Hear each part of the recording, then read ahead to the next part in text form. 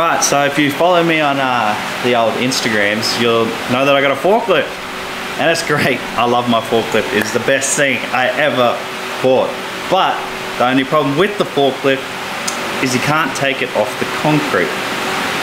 So on concrete, it's absolutely brilliant, but as soon as it rains a little bit and you get into the soft driveway, then it's just the end of the world. It just bellies out, then you're really stuck. So I was laying there in bed this morning and I had this idea that come to my head because I'm currently cleaning out the old donga that was on the property when we bought it and I'm going to turn that into like a big reloading room for all the guns and stuff like that. Um, to move it, I took a lot of the weight out of it and now there's a lot of stuff over where it used to be and I can't really take the forklift over there because it's been raining. Back to my idea. I had this idea that my little digger, it has a like a blade on the front. Looking into forklift attachments for the digger and everything, they do make them, but they're for the bucket. And my thought was, well, I don't really want it on the bucket because what if I need to still grab something or push something on? And then I thought, what if I make an attachment for the front of the digger? You can drive up, lift up the blade, and then you have a little set of forks. Now these aren't that big of diggers so there's not, a, it can't carry a lot of weight anyway. So my thought is just enough to have a pallet so you can throw a few things on there and then walk it back to the concrete and then take it, lift it up and then lift it up with the forklift. You get the idea. So here's my CAD drawing that I've already done. So basically you're going to drive up to your fork attachment and then lift up your, your blade and then that's going to lift the forks that I'm going to weld onto these plates. That's pretty much the idea. So it's not going to be a heavy duty attachment, it's just going to be a convenience attachment. Now we're going to cut out this bit, see if we can stuff it up.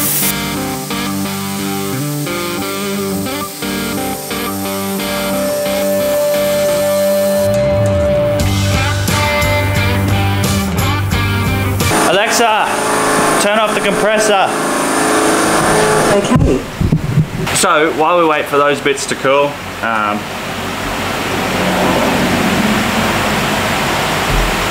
Did I ever tell you I'm a genius? While we wait, I'll, um, I'll take you for a little workshop tour. Now, I haven't done much at all. Uh, that's all the reloading bench and everything, so Maddie and I are going to set it up at the back. I might show you that first, actually. So this is our donga, and it's pretty, uh, pretty how you going. We sort of um, started working on it, and to be honest, I don't know how it's still staying upright. So this is the floor, and then that's the beam that that bit's sitting on, but this, that whole back wall is just floating, so this thing could probably just fall on me at any, mo any moment, which is great. So I'm currently in the process of pulling the floor out to replace these joists because that one there was broken, that one there is broken, this one's broken, and yeah, so once I do that, then I'm pretty much going to join up, put, screw another one to the side and then screw it to that, so that way we can push this whole wall back up.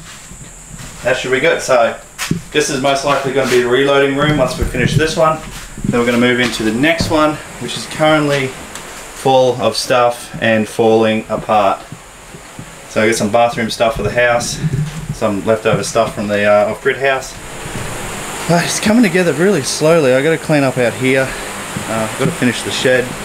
So I've done all the drill holders, uh, of salt holder, 12 volt M18, and Harry's here. Hello. He can weld now. No. Why not? No, well. Don't I'm a weld. learn to weld. Harry, you don't even know what we're doing. Nah, uh, I just come for beers, and that's it. That's it.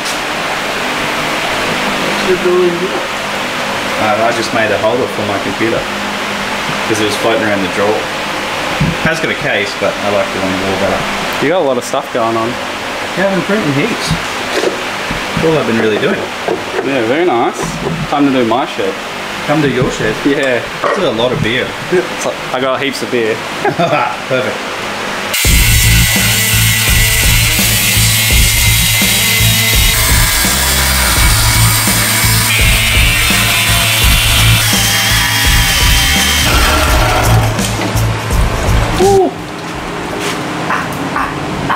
just kidding.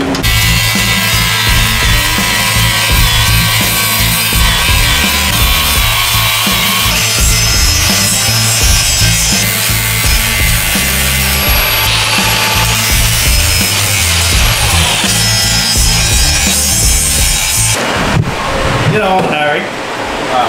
I was about to do all that on the floor, and then I realized I have a mobile workbench. There you go. Oh, forky.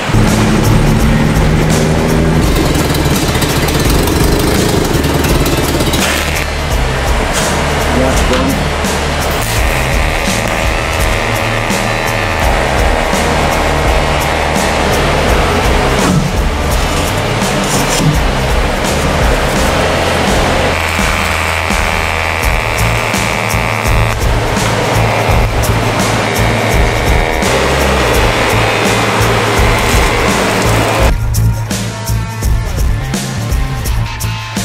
Alright Harry, that's all welded up.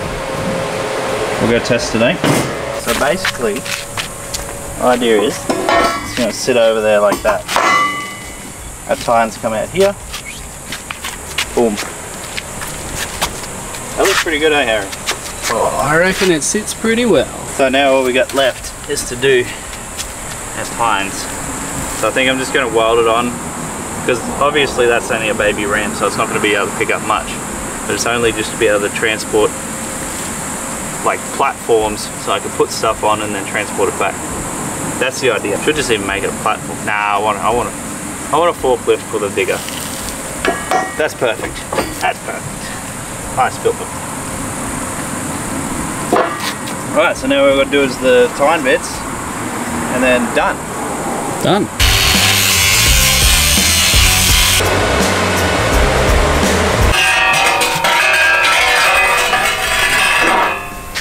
So, there you go. Oh, that's stronger than I thought. That's awesome. So, the whole idea. Yeah. That, oh. And now something this.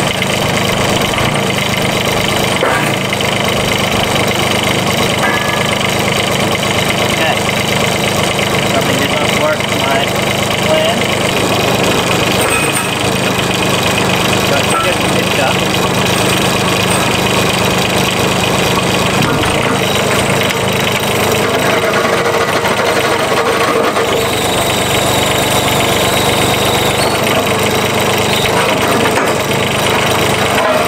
See?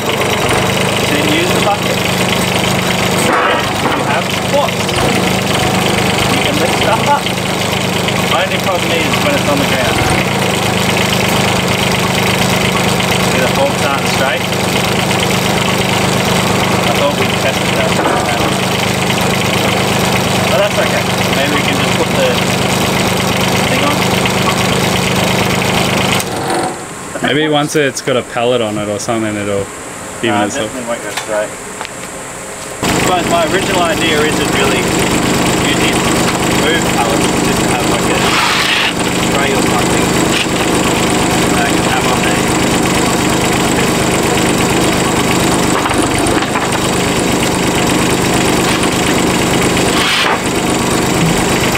Pallets. Right. So when it comes up. Oh no, I see what I've done wrong. What'd you do? These here. That's why it's not sitting flat, is because we haven't ground them off yet. Yeah, that'll do it. See, I was, I was wondering what, how I failed at that. We just got to grind them off, Harry, and then we're done.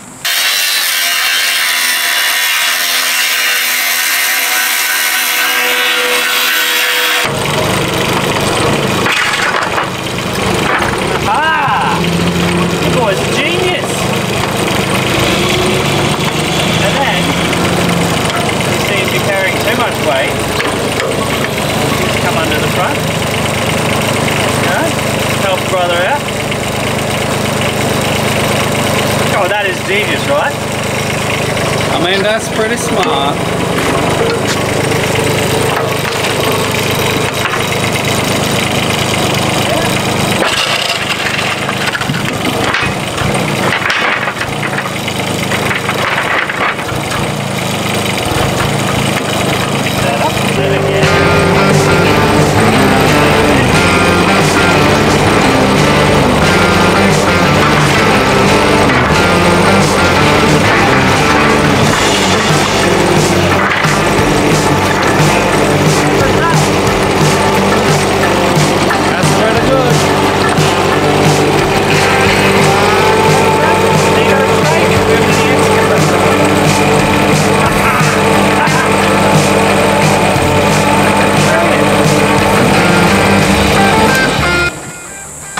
Dang, dude, that is awesome.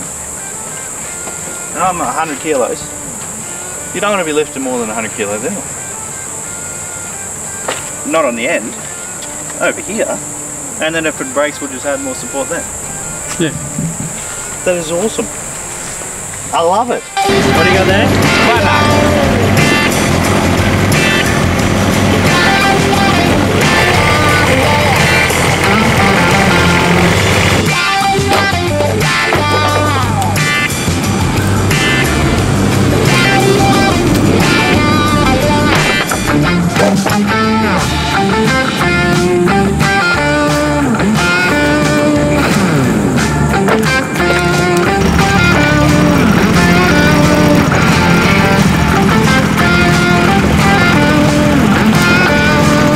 Not even kidding. This thing is the best thing I've ever made in my entire life. It was so handy. So it's been a couple of days since I we did the first part and this thing has been getting non-stop use ever since. I've I've loaded it with logs. I've freaking all the sticks through the yard. You can just pile into this, grab with a bucket, throw a pallet on, fill it up with all the stuff, ditch the pallet, ditch the rack, keep going, and then when you need it, you can come back and pick it up again. You don't have to most of the time you don't have to get off the digger to put it on but sometimes the ground's a bit uneven and I was very tight with the tolerances so but hasn't popped off during driving. It has popped off like when I've been trying to load it but that's my fault for lifting it up.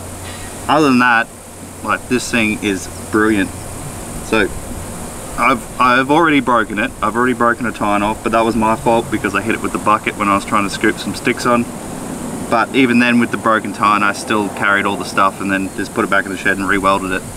Was probably my fault because that edge that I ground off I ground off a lot of the welds as well and that's where it broke uh, I didn't want to put a weld along the top because that would weaken that top point but other than that it's going absolutely brilliant uh, the only things I probably want to do is put a little platform on the top so you have a step um, other than that it's it's working perfect. So I'll leave it at that for this episode. Thanks for watching. We'll see you in the next one.